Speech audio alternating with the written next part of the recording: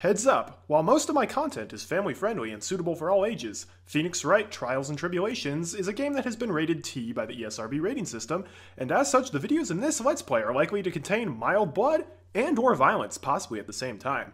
So, viewer discretion is advised.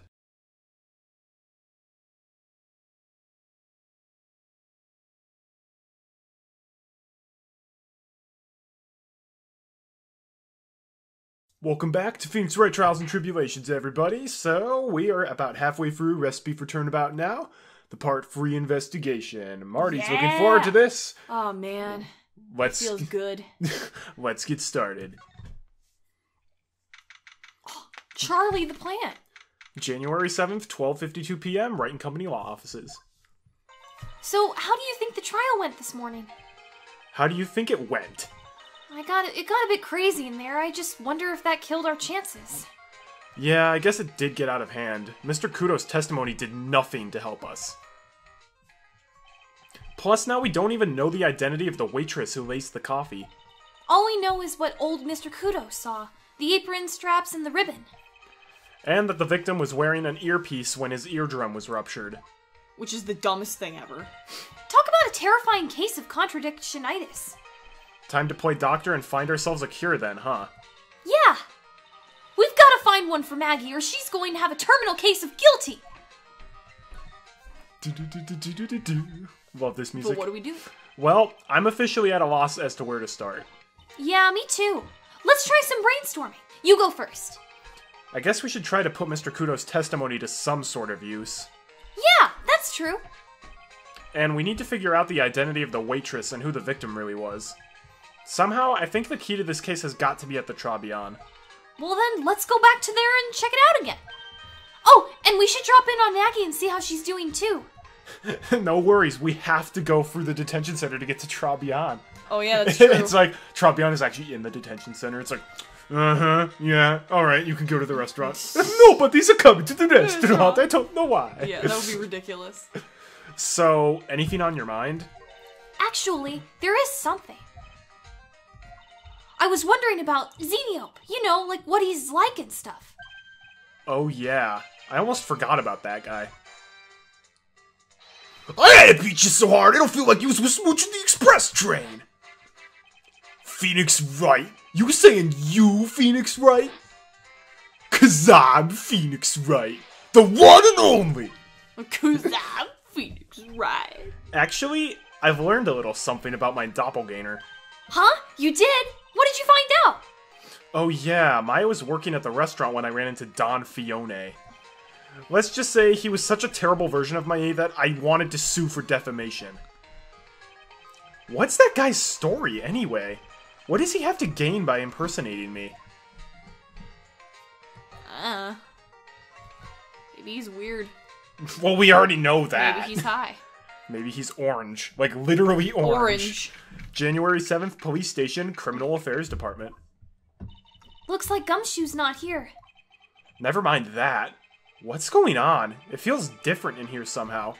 You think? Yeah, everyone seems to be on edge. What are you doing? Call the officers for the briefing, quick! Can't you shut down the station server? Chief, quit playing on the internet! But my email pen pal, Vita is a princess! Save it for later, I'm turning it off now! No! Vita's a princess! Everyone's keeping busy in here, huh? Keeping busy. More like panicking, if you ask me. Something's going on. Something big. Well, let's just look at everybody. This must be the chief of the detectives here. He looks lost now that the power to his computer has been cut. Oh well, I guess I'll just have to write her a real letter instead of an email.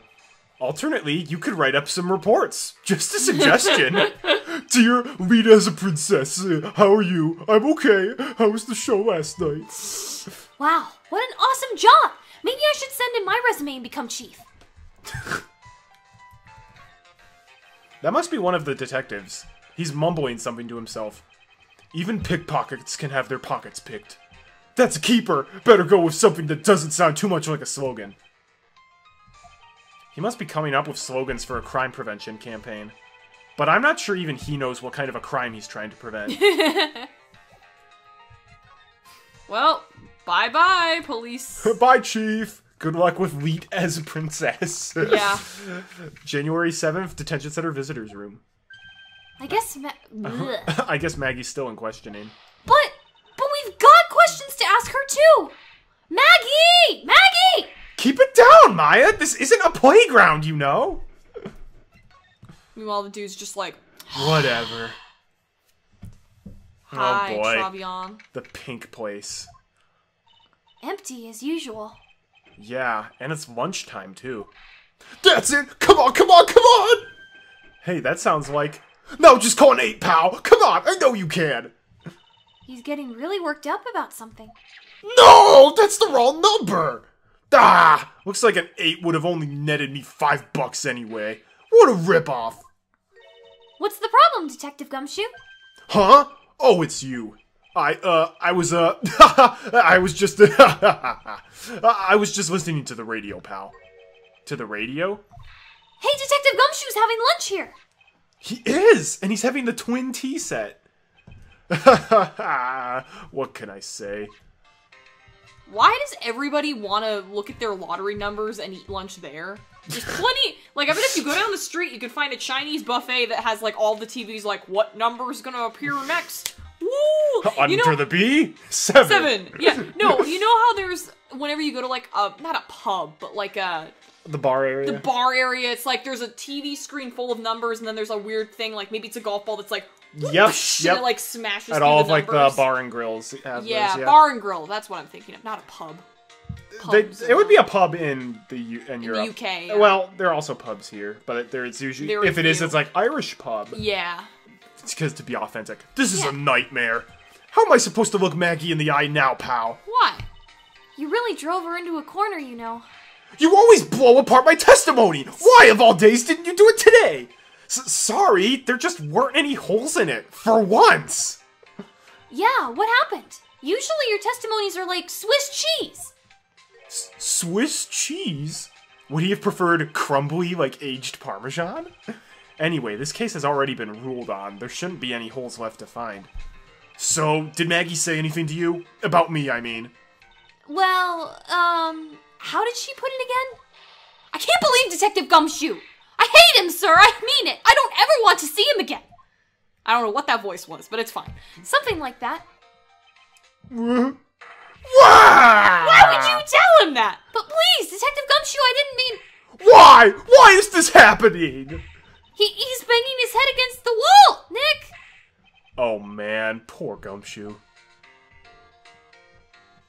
Will you have any brain cells left after that?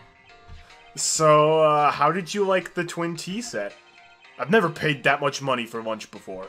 It, I was so nervous my hands were shaking. So, how did it taste? Well, for 20 bucks, I guess, I don't know how to describe it really. It was delicate. Delicate? You mean you liked it? It didn't taste bad to you? What's the matter with him? Looks like he's thinking. That's it! I've been trying to think of the right word to describe the taste. It, I just got it right now. Bad! That's it! It tasted bad! it's kind of hard to admit it to yourself when you pay 20 bucks, though, pal. See, I was expecting him to be like, no, it was fine. And then it's just like, um, the Trés Bien chef's like, "Du- du- du- du, going to give the bad food to Phoenix Wright. like, just like, just purposely like not cooking his lobster or whatever. Oh. Not that your lobster's alive on your plate, but like, it's just undercooked and then his, Yeah. his is just fine. That would be an interesting That would be funny. Maybe he should have found out about the price after he had finished eating. Maybe that's why Glen Elg came here. Maybe he heard about the famous twin tea set. Glen Elg, the victim, huh? Which reminds me, we still hardly know anything about the guy. Why don't we ask Gumshoe what he knows, seeing as he's here? Okay. Hi. So, what were you all excited about earlier? Huh? That's right. You said you were listening to the radio or something. Oh, that. Uh, that was nothing. I-, I wasn't excited. Come on, Detective Gumshoe, you can tell little old me. What were you listening to? Th- nothing, really. Uh, It was just the, um, daily exercise show. Number eight. Is it gonna have like a oh just one? Okay, I was like, it's gonna be like What the? A Psyche-Lock? Ha ha ha! Mmm, this one special's lobster is great. No, it's not. Then why are there tears in your eyes? Okay, I uh, I'm wondering why so many people are like, I'm gonna look at my lottery lum- num- lottery lumbers, lottery numbers in this restaurant. If that's the case, can we break it? I, we're gonna try, I guess. you already figured it out. Uh, did I? Oh. Yeah. The radio. Alright, Detective Gumshoe, tell me the truth. What were you listening to? No way, pal. Now that you've made a big fiend out of it, I'm not gonna tell you. What? We'll see about that, pal. Considering all the noise you were making while you were listening, it's pretty clear what kind of radio program it was. I'd say it was related to. Okay, It was a scooter. Godot has his own radio show now. that'd be great. Well, Detective Gumshoe? Yeah, that's it, pal. You got me. You sure are something. Godot has this awesome radio show where he talks about different types of coffee. he like import brands and like goes around Europe. so, I've determined Turkish coffee sucks. You should totally go to the get coffee from Guam. They've got the best beans. Wow. Then how come I'm still seeing the lock? Guess I was wrong. Would you listen to a radio show about Godot describing coffee? No, because I don't like coffee as much. But if there was like a show of like somebody describing their favorite food like around the world, I'd be like, yeah. I'd get That's very that. broad. Now, what was he he was shouting when he was listening to the radio? That's it! Come on, come on, come on! Now just call it eight, pal. Come on, I know you can. Ah, that's the wrong number.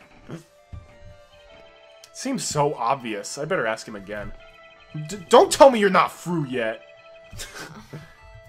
We're not. Yeah. I'm right, aren't I? You were listening to the lottery results, weren't you? You thought you'd try to win big, just like Glen Elg did. And then you die. It- it's it's like you could see right through me. I mean, Huh? be- I've cracked him already?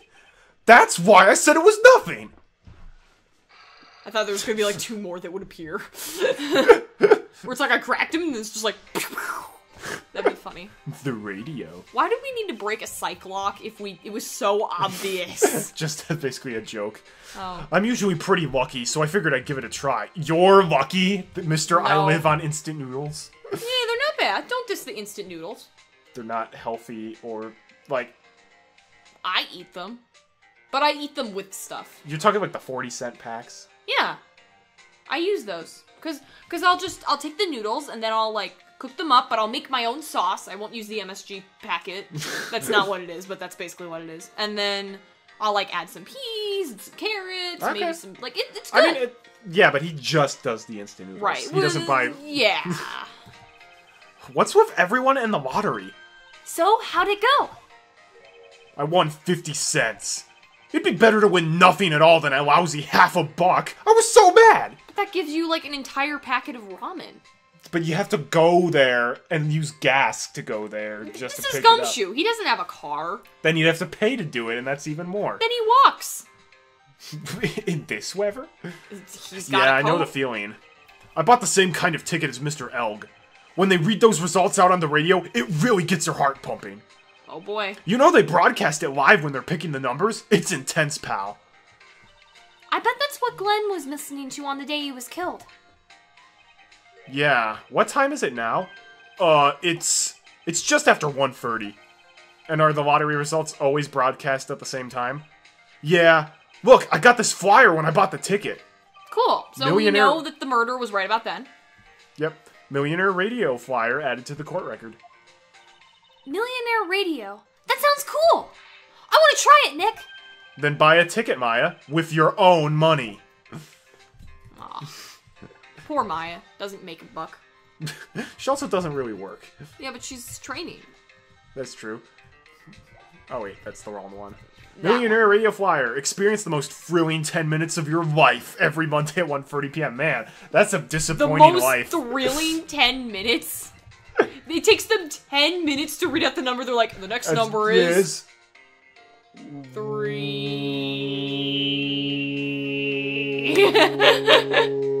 exactly. Like is it like the slow?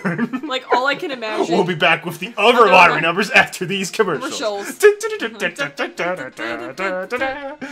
That would be really annoying. that would be the worst lottery ticket reading ever. It would be terrible. That wouldn't even get my heart pumping. I'd be like, okay, mm, here's the numbers. This guy was a real programming genius. They called him the walking computer at the place where he worked. What happens when he crashes, though? Does he just stop moving all of a sudden?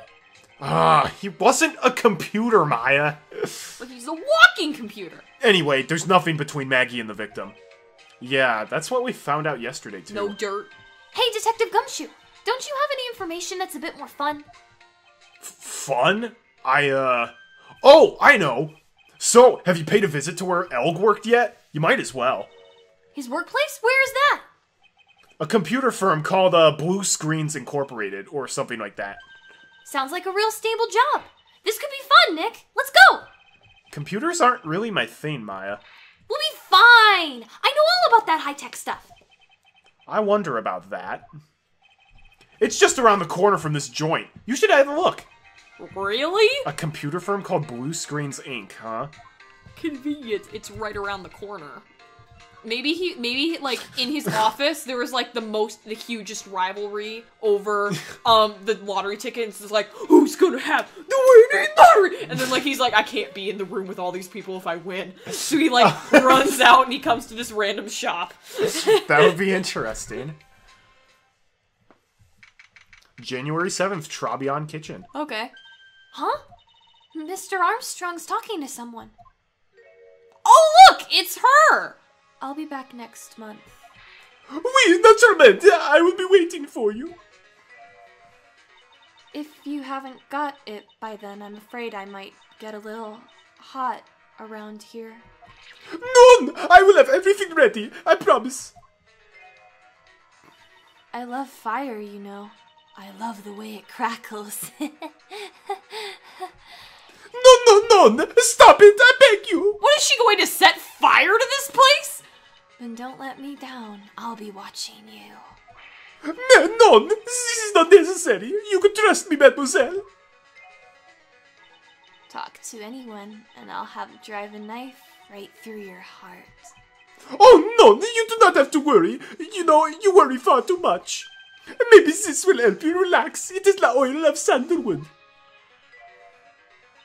I do love raw meat from time to time.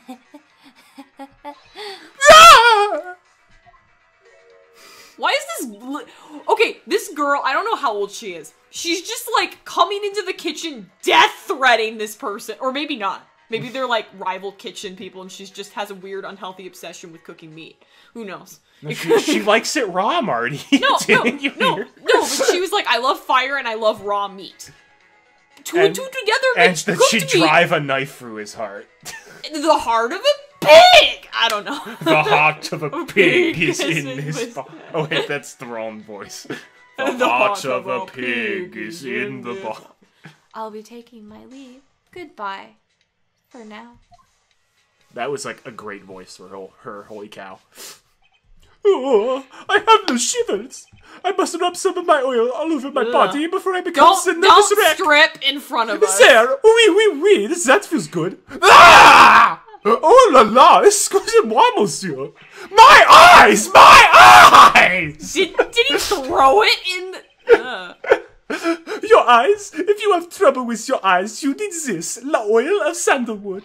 Isn't this just the leftovers of what you were just using? Okay, well then, uh, I don't want to talk to him. I don't. Ugh, that that gal. She looked like she She's was Violet death from The. Incredibles meets Tharja No, from Fire Emblem uh, Awakening, no, no. Uh, but part of it is, who headbutted thing- someone too hard.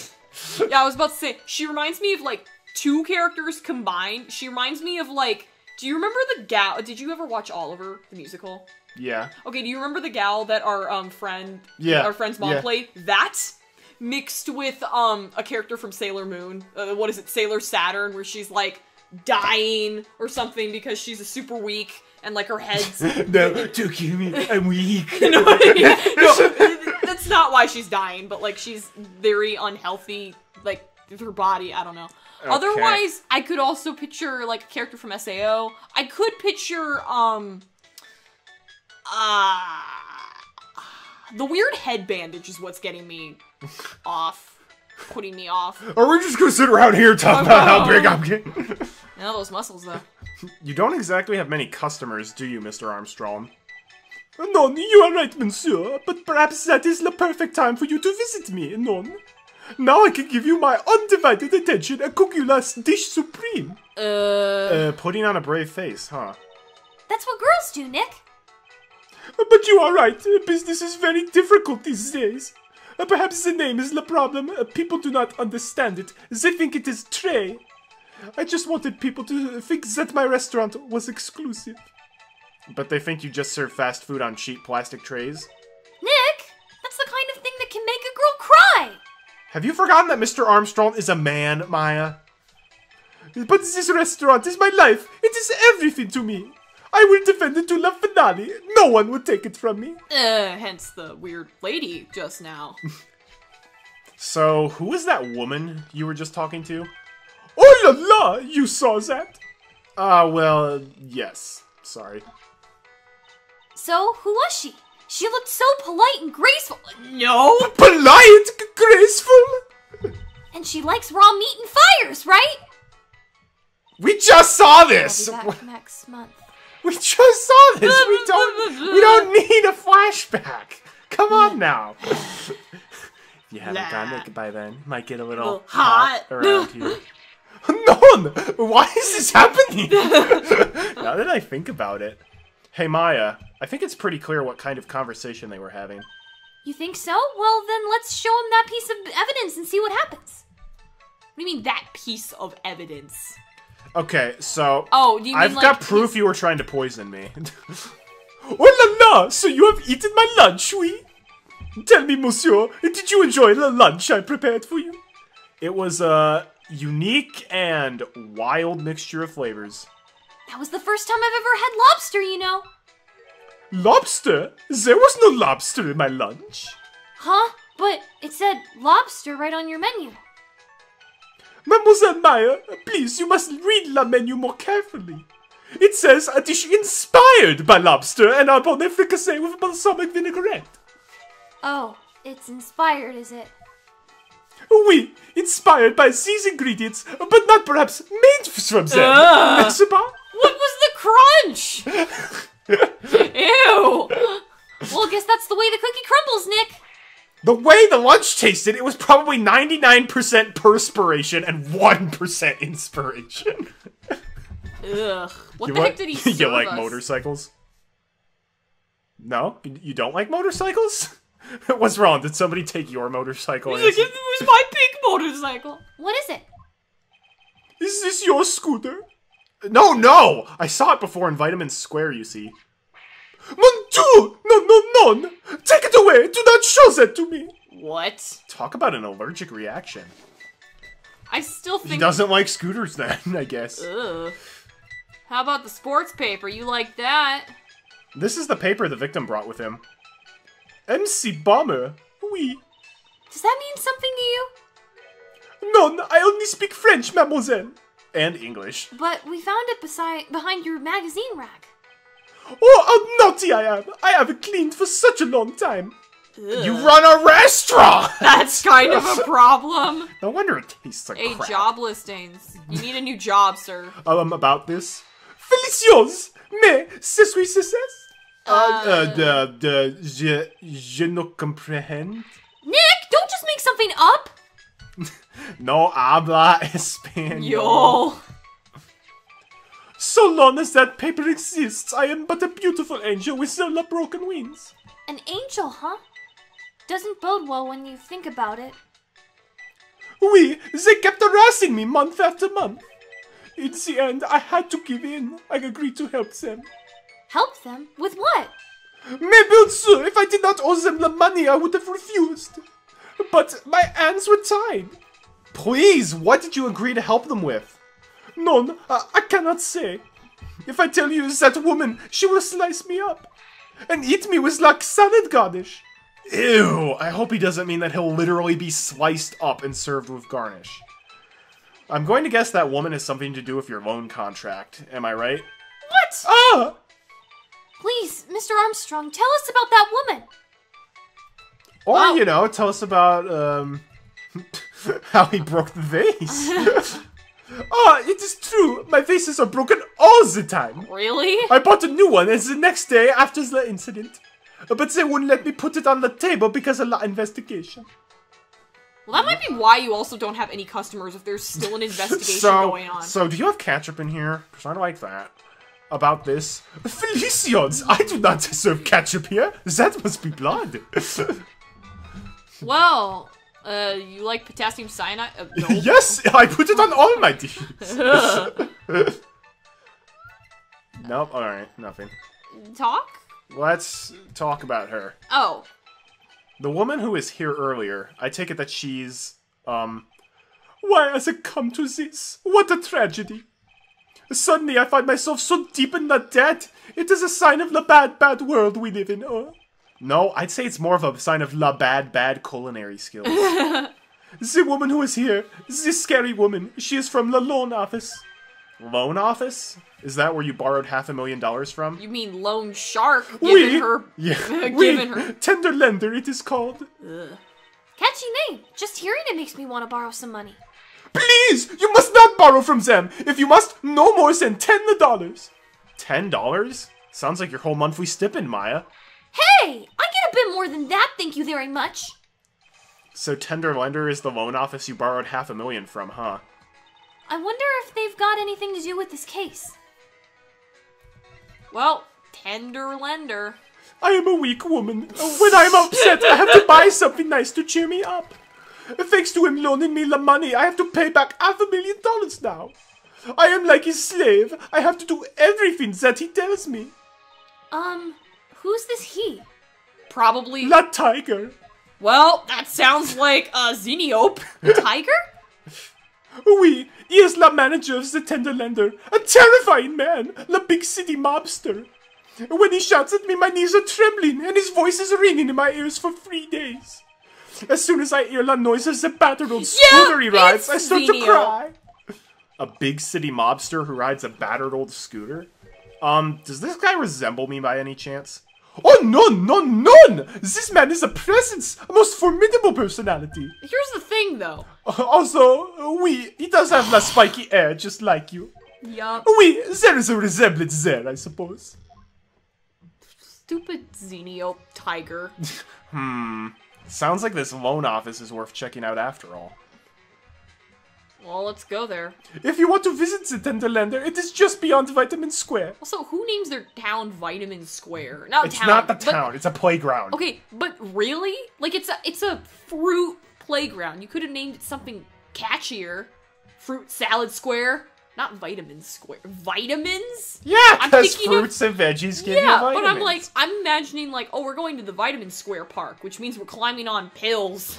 That's what I think of. That's that's something different. supplement That's square. the that's the Adderall square. That's supplement square. Supplement square. That's much better. Hey, Nick. If you need money, I can loan you some as long as it's less than $3. Um, thanks for the offer. Just beyond Vitamin Square, huh?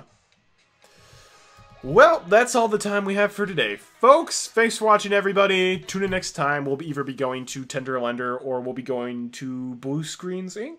Oh, yeah, there's Which, that whichever place. one you want to go to first. You I get to, to choose! you get to choose. Look forward to that. Until we meet again, my friends. Have a great day and God bless. Now I know what true power feels like.